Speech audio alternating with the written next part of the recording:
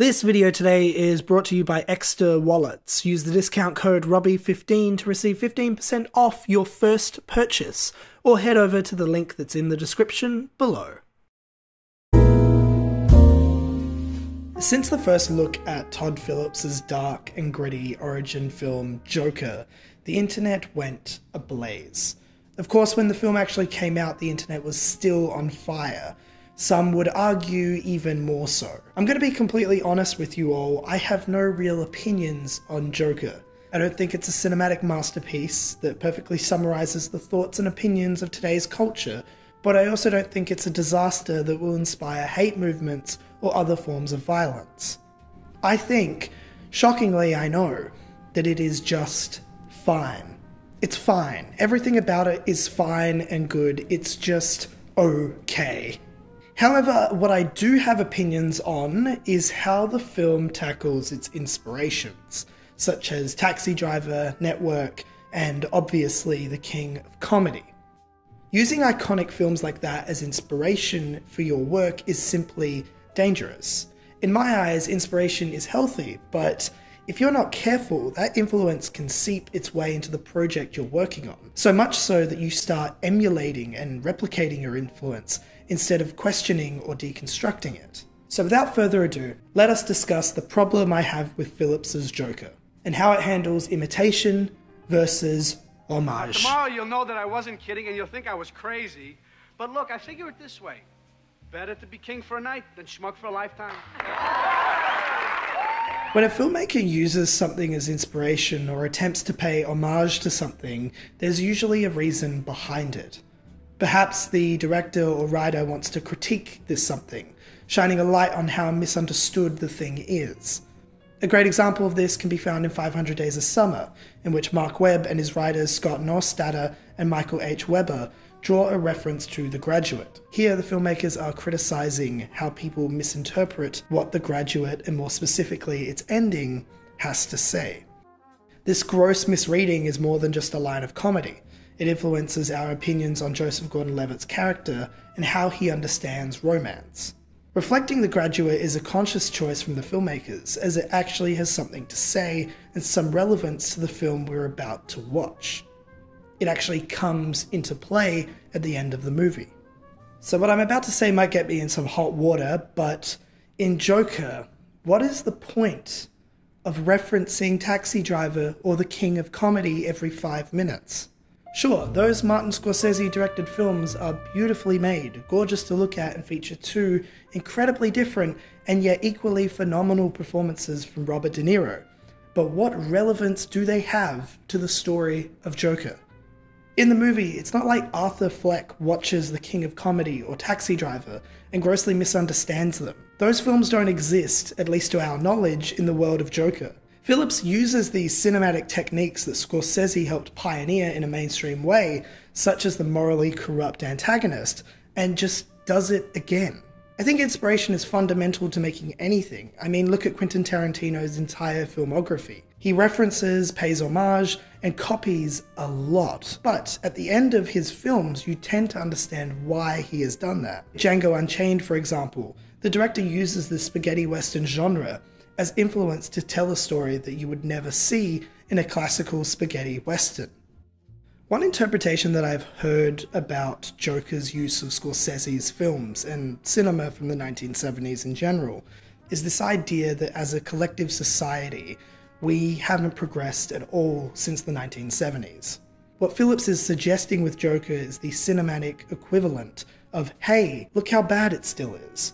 And sure, while that may be true, why specifically reference Taxi Driver and The King of Comedy if your thesis statement isn't exactly specific to those movies, but rather history in general? Rupert, who are you talking to? Mom! What is it? Please stop calling me. I find the imitation of Scorsese's work in Joker to be borderline frustrating. I don't think Todd Phillips is untalented. Actually, I think the opposite the movie kind of loses its relevance or grit because it's subconsciously trying to be something else. I mean, let's be honest here, of course the movie works because it's using these iconic fucking movies as a blueprint. You would have to majorly fuck it up to not at least get a good movie. as a result of using the cinematic language of Taxi Driver in The King of Comedy as frequently as Joker does. At the end of Joker, Arthur Fleck doesn't really learn anything. Sure, he has a revolt that rises up as a result of him, but what does that have to do with The King of Comedy or Taxi Driver? In 500 Days of Summer, the filmmakers implement this idea that the lead character of the film misinterprets the ending of The Graduate as a romantic and positive one. Because of this miscalculation, Tom Hansen completely misunderstands love. 500 Days of Summer actually has something to say regarding the film it wants to reference. In Phillips's movie, the use of Scorsese's work or network just comes across as totally synthetic. It's more an aesthetic choice than a narrative or thematic one. It exists because it gives the movie a nice, prestige sort of look. It doesn't impact the character or inform the audience of anything new. It just repeats what a very iconic and established filmmaker said almost 40 years ago. Bruh. I'm sorry, what's that? Oh, that's very funny, Murray. You know, I'm also a comedian. Would you like to oh, hear a joke? I love this guy. Always coming Yeah? up with these great lines. Oh, I you? Love him. I love him. Okay. You're wonderful. I say, I don't know what I'd do without you. Knock, Rupert! knock, knock. Bus is here. It's early. Try to be Now, like I said at the start of the video, I don't hate the Joker movie. I think Joaquin Phoenix is incredible, but I just wish the movie had a little more confidence in itself and what it actually wants to say. I wish Phillips wasn't so hesitant to rely on his own ideas and opinions, as that's what I look for in these sort of movies. I want to see a filmmaker express their take on a problem or society or situation.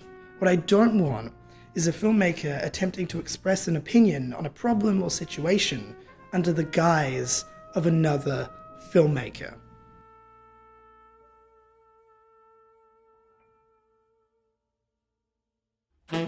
One thing I absolutely hate about going to the gym or the supermarkets or whatever is carrying around a big and bulky frickin' wallet. It drives me insane. I hate the weight, I hate how big it is, I just hate carrying unnecessary shit. Luckily for myself and potentially you, there is Ekster wallets. Ekster wallets are ultra slim, beautifully designed, and trackable. Oh, and they have instant card access. I literally do this four or five times a day. Each Ekster product is handcrafted from the highest quality genuine leather available around the world. Sourced from LWG gold rated tanneries, who serve only top of the line luxury leather brands.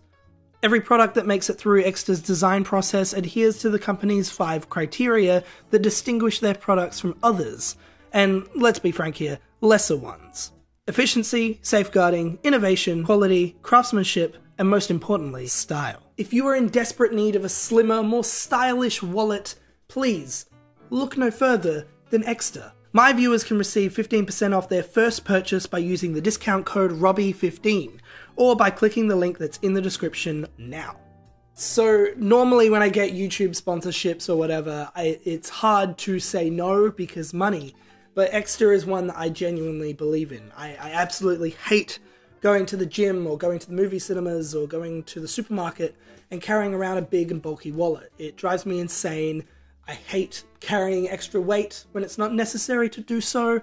And most importantly, my wallet isn't really that stylish. Until about two years ago, I had a Velcro wallet, so you can just imagine what I have now. What I love about the Ekster wallets is just how easy they are to use, how stylish they are, and I absolutely love, like, love, love, love, love, love the tracking little doodad they have here. It's amazing. It tracks your phone from the wallet, and it can also track your wallet from your phone.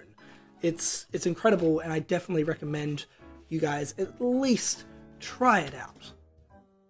Guys, thank you so much for watching this week's video. Uh, before I go, I just want to give another shout out to Ekster. Uh, use the discount code Robbie15 to get 15% off your first purchase, or click the link that's in the description below.